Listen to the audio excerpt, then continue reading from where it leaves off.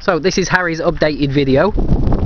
Um, Harry started the Freedom. He was on it for two weeks, and then we gave him a week's rest, and then we put him back on the Freedom. So he's been back on it for another week now. So in total, three weeks.